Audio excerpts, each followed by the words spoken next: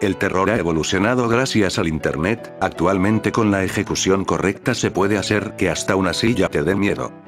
Pero, ¿qué pasa cuando ese miedo se transforma en una casa con patas de araña? Bueno pues eso mi querido navegante aleatorio de Internet, es lo que veremos el día de hoy. Con el monstruo primo de Sirenger, denominado como Househead. Las casas de origen desconocido que por alguna razón tienen patas. Bueno probablemente hayas oído sobre este monstruo durante tu estadía en Internet. Primero que nada, ¿qué es un Househead? Un Househead es un ser gigantesco del tamaño de un rascacielos. ¡Ah! Tengo mucha comezón. Deja que te rasque. Muchas gracias, Househead. Jaja, claro, no hay de qué. El cual tiene características muy peculiares, ya que este ser tiene patas gigantescas que son prácticamente como las de una araña. No creas ni por un momento que voy a poner la imagen de una araña, Suelen tener ocho patas o más, realmente su número de patas no importa o siquiera los llega a afectar en algo, ya que no las suelen usar con mucha frecuencia. Pero la parte de su cuerpo que les otorga su nombre, es su cabeza, ya que su cabeza es una casa o mejor dicho una cabaña que suele ser de madera vieja, o que puede variar de materiales dependiendo del lugar en el que se encuentre, ya que puede incluso estar hecha de metal con la finalidad de camuflajearse mejor. Ahora mismo me vas a preguntar que a qué me refiero con camuflajear. Para responder a esto necesitamos indagar más acerca de lo peligrosos que son estos seres. Un househead no tiene una cabeza como casa solo porque un día vio la película de Monster House, y por ello haya decidido tener una casa en donde debería tener una cabeza. Lo que pasa es que estas cosas utilizan su casabesa XD, para poder camuflajearse entre los árboles, dentro de los bosques o en poblados muy pequeños de difícil acceso. Lugares que no suelen estar demasiado poblados, sitios en los que las personas puedan desaparecer sin ningún problema o simplemente lugares donde la gente se pierda fácilmente con un simple descuido.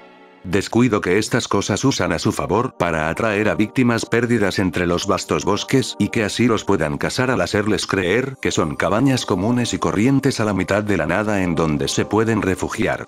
Para que finalmente estas casas los devoren como un bocadillo más del montón.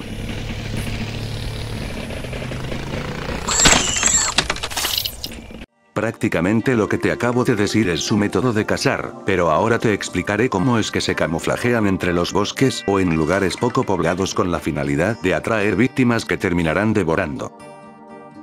Primero que nada tenemos que recordar que sus patas hacen que su tamaño sea gigantesco, por lo que para cazar estos seres deben esconderlas para evitar levantar sospechas al momento de atraer a su comida.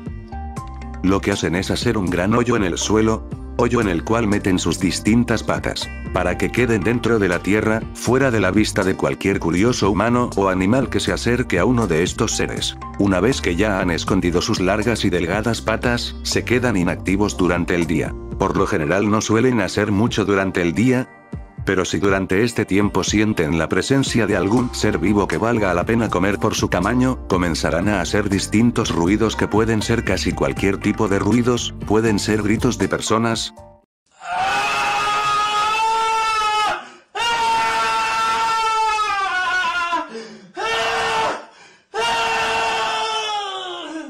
voces de antiguas víctimas, Los huevos de Pascua de San Andreas en particular tienen la facultad de ser oscuros y muy tétricos. sonidos de animales, ladridos de perro, o cualquier otro sonido que pueda atraer a la presa lo suficiente como para que el househead lo ataque. Para que le voy a mostrar. Epa. Disculpen, puse el turbo, pa.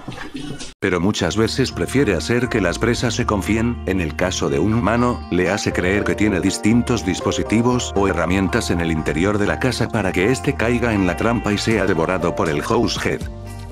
Aquí no acaba el asunto, ya que estas cosas a pesar de ser muy huevonas durante el día. En la noche, y más específicamente en la madrugada a las 12 am y a las 3 am, suelen salir de su hoyo a buscar presas de una forma más directa, ya que sacan todo su cuerpo de la tierra y comienzan a buscar comida. Ellos no cazan por diversión o porque quieren estirar sus piernas, sino que lo hacen para sobrevivir.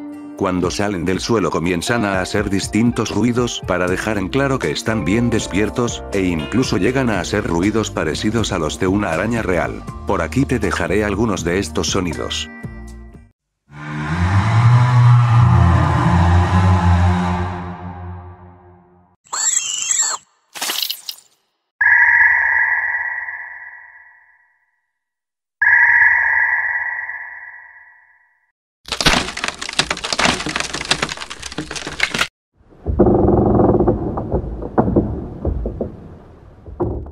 En cuanto a algunos detalles de su anatomía que omití al principio del vídeo, podemos ver que en la parte delantera de la casa tiene una puerta y dos ventanas, la puerta se puede decir que es algo así como su boca, mientras que las dos ventanas son, o por lo menos simulan ser sus ojos, ventanas que por cierto emiten una muy reconocible luz amarilla que hace que parezca que es luz de velas o focos proveniente del interior de la casa. Además de que las paredes de la casa que no son la parte delantera, es decir, donde no se encuentran los ojos y la boca, son paredes muy delgadas. Por último en su anatomía podemos encontrar que la parte inferior de sus casabezas tiene picos de madera, o venas, o ramas o lianas que le cuelgan. Realmente su única función es hacer ver más amenazantes a los Househead. Estos seres no son muy solitarios. Les gusta siempre tener algo de compañía, es por esto que viven en grupos, manadas o si queremos ser mucho más específicos estos grandes grupos se les llama patrullas, cualquier parecido con los Paw Patrol es mera coincidencia. Jaja soy re chistoso. Ya por último, estos seres han existido desde la antigüedad, no se sabe exactamente cuándo fue el primer avistamiento registrado o cuánto tiempo llevan existiendo. También se sabe que los sonidos que ellos emiten al momento de cazar, es en realidad su idioma, con el cual se comunican. Se ha intentado mucho por parte de los científicos, sin embargo no ha podido ser traducido de ninguna forma. Tampoco se sabe si la gente que los ha visto estaba bajo el efecto de hongos de dudosa procedencia. Ni se sabe nada acerca de sobre su origen, o por qué es que se encuentran en grupos, ni por qué diablos usan una cabeza como camuflaje. Así como tampoco se sabe realmente qué es lo que les pasa a las personas que son atacadas y devoradas por los Househeads. Encima de que tampoco se sabe si realmente su cabeza tiene un cráneo o un cerebro, o mínimo una anatomía más compleja que los muebles y distintos artefactos que supuestamente se pueden ver que tienen en su interior.